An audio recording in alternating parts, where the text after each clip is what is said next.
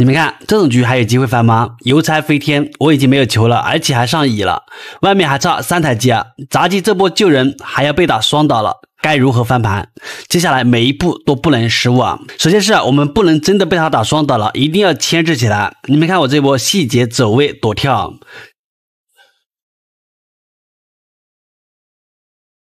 然后听声音知道聂西要准备蓄力刀了，那不犹豫直接飞轮。接下来选择战场非常关键啊，溜聂西就要玩这种窗户啊，非常好溜啊。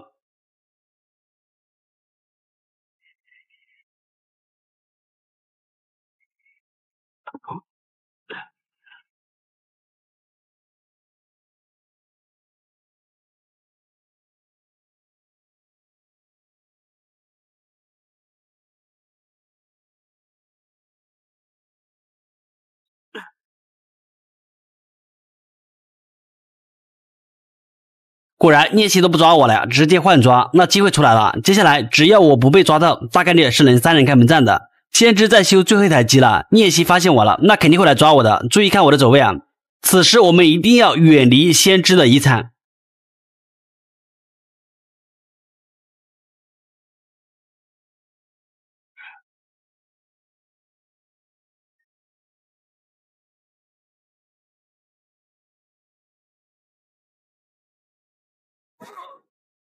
那挂上我之后啊，聂西直接传送去做杂技，但其实机子已经快压好了。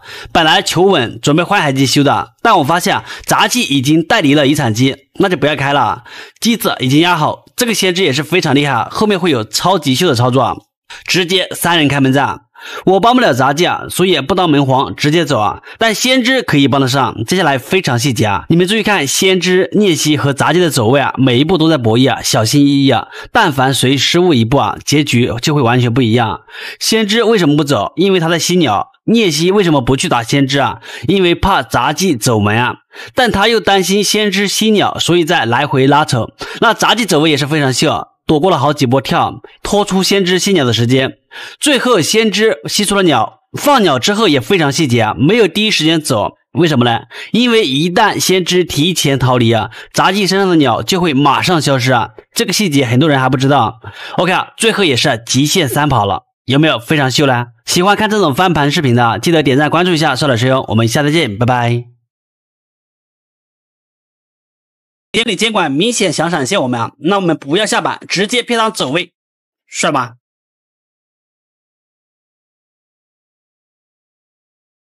在七阶排位中啊，三兜帽同时放出来是非常少见的，尤其是有名镇正的地图啊，连祭司都放，什么意思啊？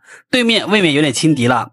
监管是破轮啊，开局来独栋抓我，那今天必须教你们一招啊，玩祭司的时候面对破轮啊，如果秒吃刺了该怎么办？你们看一下啊。我们这里啊，不仅秒吃刺了，而且还秒吃了一刀啊！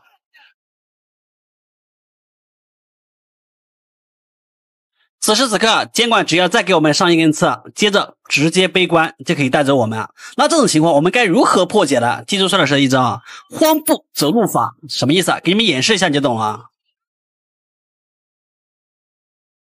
OK，啊这里直接吃刺了，对吧？当他变身的时候，直接打洞，然后反穿。OK，没反穿到没有问题啊，下板继续反穿，不断的穿洞，让他分不清啊，我们到底会不会反穿？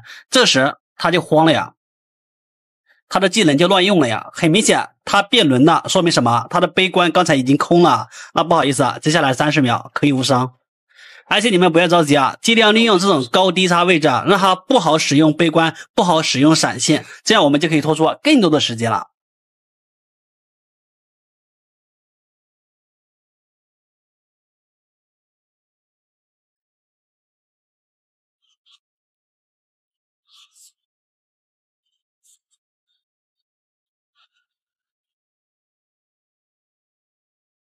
OK，这里也是拖出了将近三海机，够了。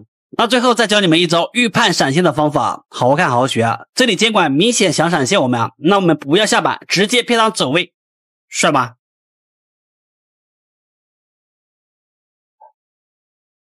你们看这把排到谁了？是丧小爱，而且听说他已经七阶二十四星了。这是赛季末最后一晚的比赛，如果赢了。他就有机会上巅峰七阶了，所以如果他最后上巅峰七阶了，肯定有我一臂之力吧。我看他这赛季打的比较少，才五百多把，胜率还是挺高的。来看看这把帅老师干了啥吧。前期节奏一般般，机子不多，但园丁已经上椅子，必须打架了，不然最多保平。刚才闪现已经被逼出来了，所以保人压力不算大。这里不要去保，因为没救他镜像，保下来也没用。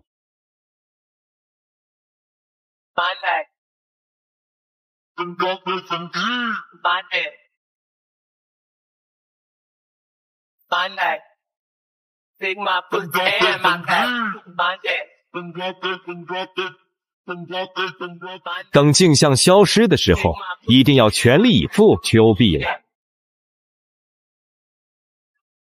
my back. Then my foot and my back.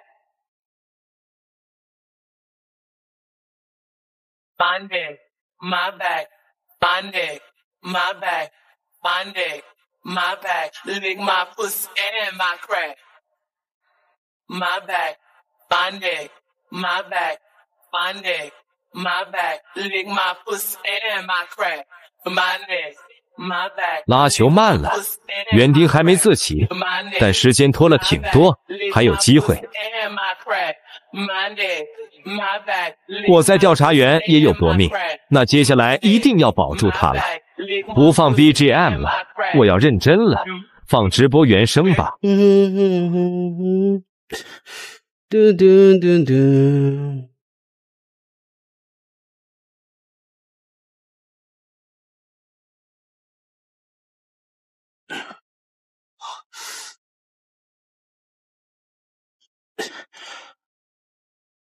嗯。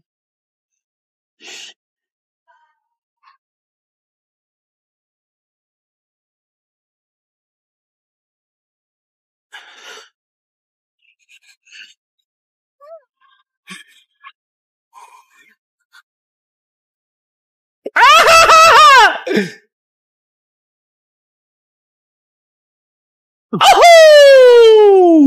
哦，OK 呀，开门战预判撞了一手。成功保下园丁，那这把也是拿下了。当削弱后的歌剧遇到 S 一的园丁，这把歌剧红温了。前期追击速度超级快，场上一共一台半，玩具商就倒地了。这怎么打？先告诉你们结果。最后歌剧被三跑了。那求生者又是如何翻盘的呢？接着往下看，佣兵正常卡半救人不双倒，然后回去修机啊。玩具商也没想二六啊，直接跑小门角落啊，因为小门的椅子啊刷在了一板两窗，准备打园丁体系啊。这种情况，请问歌剧应该如何处理呢？可以这么说吧，除非园丁给机会被秒掉，不然歌剧面对这种情况只能换抓才有机会啊。不信你们看。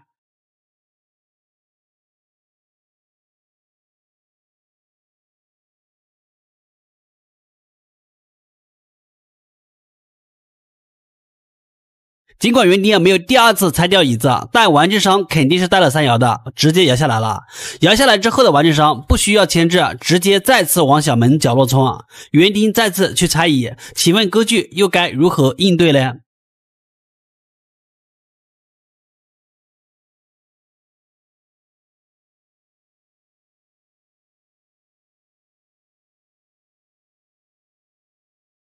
没有办法，真的没有办法。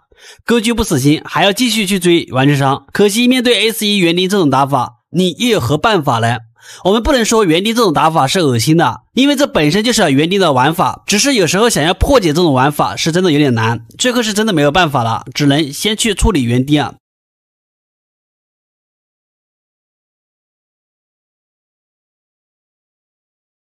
但为时已晚，机子都已经快压好了，最后也是无奈败北啊。从最开始的速抓玩具商，到最后的含恨败北，歌剧肯定已经红温了吧？如果你们是监管，这种情况又该如何应对呢？大家不妨在视频下面说一说啊！还有，你们觉得歌剧现在到底强不强？排位赛遇到了，到底能不能溜动呢？